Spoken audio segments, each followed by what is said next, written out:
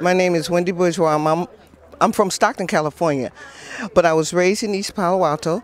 David Lewis was like a, a brother to me because East Palo Alto is a family. We love each other. And we just can tell by the way we're all gathered out here today.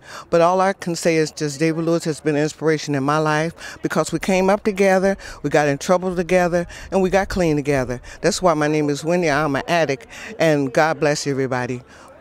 A happy moment with David and I was when I asked him to share over at the Menlo Park um, Veterans Hospital because I was secretarying over there for an A meeting.